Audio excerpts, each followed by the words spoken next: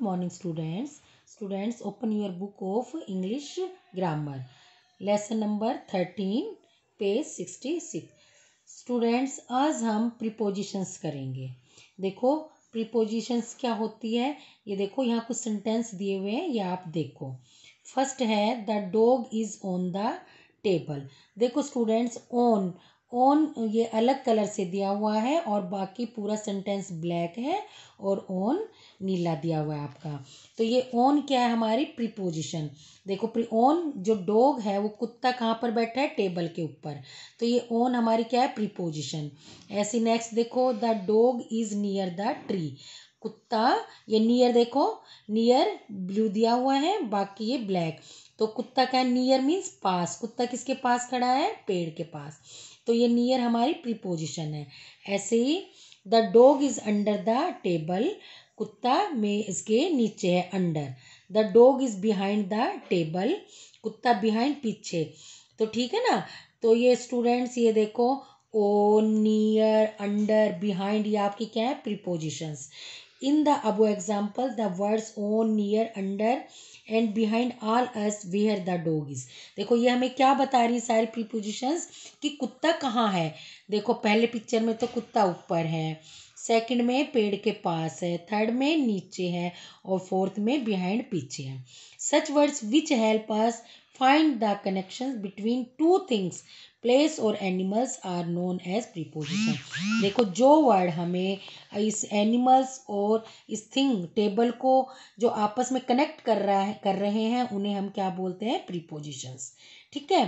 Here are more example of prepositions देखो, कुछ और भी यहाँ उदाहरण एग्ज़ाम्पल हैं, देखो प्रीपोजिशंस के कौन कौन से?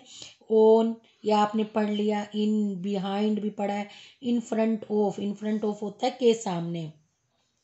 बिटवीन बीच में under near at by from for around ये क्या है हमारी प्रीपोजिशंस क्या है प्रीपोजिशन देखो स्टूडेंट्स यहाँ हमारे पास सेंटेंस है और इसमें कुछ प्रीपोजिशंस हैं।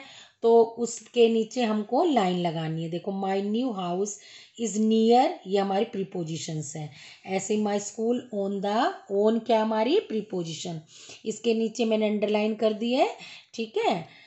Next there are two mango tree in front of ये देखो इन फ्रंट ऑफ़ ये हमारी पूरी क्या है? प्रीपोजिशन इन फ्रंट ऑफ़ ठीक है? के सामने my house there are two mango trees in front of my house मेरे घर के सामने दो आम के पेड़ हैं.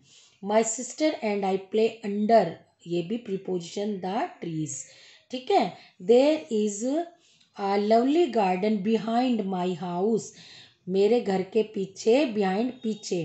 एक सुंदर बगीचा है या बाग है। We have beautiful flowers in the garden garden में इन मीन्स में, सुंदर क्या है? फ्लावर्स फूल हैं।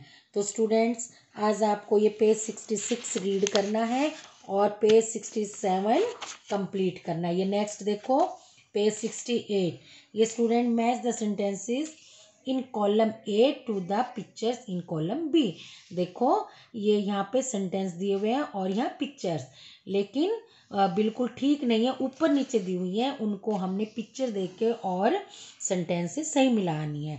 देखो there is a fence around the house ये देखो, इसको हमने ये देखो, ये हमारा हाउस है और इसके पीछे चारों तरफ़ ये, देखो आगे पीछे क्या है? फैंस ये एक तरह से बाढ़ होती है, दीवार समझ लो, है? तो ये इसके लिए सेफ्टी के लिए, ठीक है?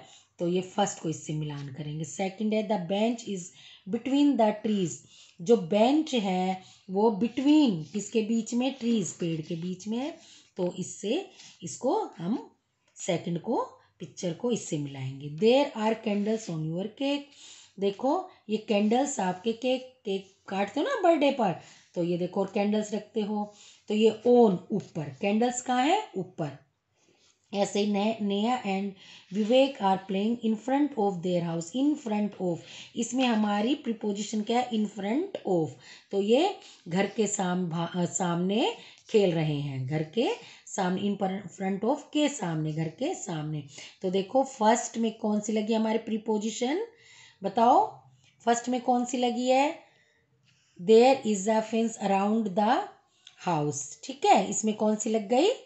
अराउंड सेकंड में द बेंच इज़ बिटवीन ठीक है, ये बिटवीन ठीक है, और इसमें ओन और इसमें इन फ्रंट ओ तो स्टूडेंट्स अब आपको ये लेसन नंबर कौन सा है?